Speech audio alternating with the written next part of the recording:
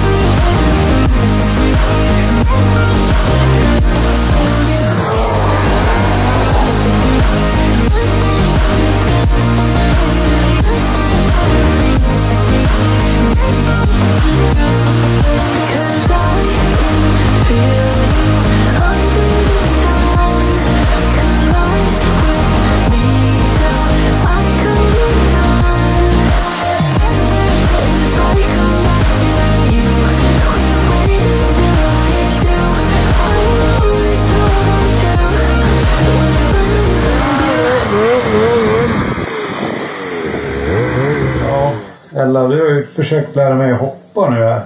Det var ju en intressant upplevelse måste jag säga. Tycker jag. Jag tycker det känns livsfarligt att vara i luften. Det är ju he- jag är helt ur mina element. Och, men jag förstår ju att jag kommer att ha sjuk nytta av det här i skolan. Ja, men allt känns ju alltså, läskigt när man inte är van vid det eller har gjort det. Och jag menar, det är första gången du verkligen också prövar på att hoppa i en riktig kick. Ja, Det är ju sjukt nyttigt också.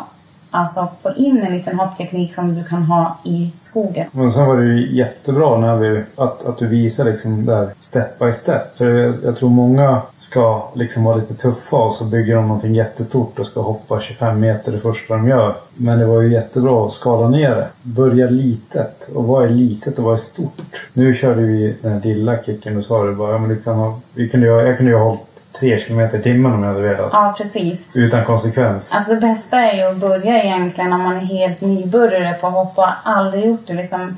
Bara bygga en liten eh, kick som man fast kan köra över och sen öka farten successivt. För att liksom ta sig längre och längre och längre. Det är lite så vi gör i rampen också. När jag började, jag började ju inte på 21 meter liksom. Det hade ju aldrig gått. Utan det, vi flyttade ju fram rampen så långt, alltså så nära som det bara gick. Och jag skulle landa exakt på samma ställe hela tiden. Sen när jag hade satt i alla de där hoppen och de var helt perfekta, jag landade på samma ställe om och om igen. Då gjorde vi så att då skulle jag landa en meter nedanför där vart jag landade. Då ska jag landa den där metern nedanför då, ett x antal hopp tills jag känner mig helt säker på det. Och sen när jag kände mig att nu landar jag där hela tiden, då drar man bak rampen en meter. Då landar jag alltså där jag ska landa. För att jag är som intränad på det. Och sen är det liksom ett säkerhetstänk också. Jag vill ju känna mig trygg att jag vet vart jag ska landa innan jag drar bak rampen. liksom känna farten in i det. För det är ju, dels kan man ju ta Kalles tips. Jämn gas, full gas. Det, det fun- funkar kanske bra också. Men, Ja. men du gav Jämngas in i hoppet. Varför jag vill att du ska hålla jämngas hela tiden, det är ju just bara på grund av säkerhetstänket. För jag vet inte hur du kommer agera i själva kicken, i, själv, alltså i luft, när du är i luften. Och då tycker jag det är bättre att man startar med en jämn fart för att liksom känna hur det känns. Sen så håller inte jag kanske alltid en jämn gas in i en kick utan det är för att jag vill ju få liksom att boggen ska jobba, jag vill få att den ska poppa och jag vill liksom följa med i en kick för att inte tappa fart. Men det är inte någonting jag vill lära ut för det är till en början. För det är liksom någonting som är ett säkerhetstänk också. Hade du fått panik i kicken om jag hade sagt att du ska gasa i kicken, då vet inte jag hur mycket gas du hade gett. Så det kanske hade slutat med att du bara nyper fullt liksom och så sticker skoten rätt upp. Så jämn fart in i kicken och sen släpper av på gasen och lämna. Och sen justerar du väldigt mycket sen i luften också. Men känner du att du kommer lite nose high, alltså med fronten uppåt, då måste du nypa lite broms som gör att mattan stannar och den vill vika ner lite. Flight control. Exakt. så det är som du också pratar om mycket, men lärt mig faktiskt hur viktigt det är med gas och broms är i skogen. Ja, Det är lite samma princip i för att använda bromsen för Ja. att trycka ner. trycka ner, ja. Exakt. Men var mentalt förberedd, ha en risktänk. Det går igen i allt. Alltså, det spelar ingen roll. om- Igår var det bra väder. Då kunde vi hoppa lite, skotta kickar, hoppa lite grann. Idag var det locket på. Det var regna, slushåkning. Och jag, jag brukar alltid resonera kring väder och vind och väderprognosen styr ju vart jag ska åka. Och lavinprognosen. Så man får ju hela tiden vara förberedd på att det kan gå dåligt. För det är ju det, är det, är det som driver oss. Ja, det är den här spänningen. Mm. Men jag vill ju ha marginalerna så mycket som möjligt på min sida. Även i skogsåkning, för det kan gå fort. Fort gå väldigt fel där också. Ja, men som jag också har snappat upp väldigt mycket liksom, när jag liksom, ja, men, pratat mycket med dig och ja, men, hängt med dig nu liksom också. Att vart är närmaste hjälp? Har vi liksom täckning där vart vi åker? Liksom, hur kan jag kalla på hjälp om det händer någonting? Vart liksom är närmsta hjälp ifall vi behöver den? I alla fall så man har mental förberedelse på det. Okej, är det, kommer det vara två timmar bort? Är ambulansen i stan? Exakt. Det är ju, alla de här sakerna styr ju ditt, hur mycket risk man kan vara villig att ta. Ja. Och sen är det som liksom viktigt, det ska ju som kännas bra för en själv också. Grupptryck, Ja, exakt. Att kompisgänget, fan är du fegis? Mm. Någon gör det, ja men den andra kanske känner sig dålig men inte den gör det. Den känner sig såhär uff, jag måste göra det. Och det är oftast då det också kan gå riktigt fel. Instagram. Ja, exakt. Folk triggar andra till att göra saker. Det kan ju vara positivt också, men just såna här högriskgrejer Ja, kanske man precis. ska... Mm. Ja, jag tror det kan vara bra att få en liten knuff i rumpan liksom. På vissa saker kanske för att man ska kunna utvecklas men samtidigt så gäller det också att man kanske tänker på vad man egentligen ger sig in på. Du har ju ett litet så här, säkerhetstänk som du går igenom liksom när du typ, har dina lavinutbildningar och att man ska ha en viss utrustning. Mm. Och om, om jag ska lära ut i hoppning, om jag har eller om jag är med ett gäng liksom, så att det, det första frågan jag egentligen ställer till dem, så som du ställer folk och frågar kanske har de transceiver, med sån och spade, har de liksom en lavinutrustning? Så brukar jag fråga om det använder skydd. Ja. Det tycker jag är liksom, det är så otroligt viktigt. Dels att man är rätt utrustad liksom för att skydda kroppen också. Jag menar, kör, kör du med skydd? ja, jag försöker i alla fall. Knäskydd och rygg och bröstskydd. Mm. Det kör jag inte en meter utan. Nej. Och det är ju liksom viktigt att man har skydden Hjälm såklart. Ja, ja, men det har ju blivit bra att det har blivit en lag på att ha Mm. hjälm. Så det hoppas jag verkligen att alla använder. Utrustningen på själva föraren är egentligen nästan viktigare än själva skoten. Och sen förberedelserna dagen innan. Det är ju ett skäl till varför vi, vi dricker Nocco här och inte öl. Liksom. Eh, Exakt. Inte bara för att det är gott med Nocco. Men det är ju alkohol för, påverkar ens nervsystem också. Ja, jag brukar alltid säga att alkohol och skoteråkning går inte hand i hand. Och jag är verkligen så här, enligt mina principer, ska jag ut och köra dagen efter så dricker jag absolut ingenting dagen innan. Alkohol förstör ju mycket mer än vad man tror.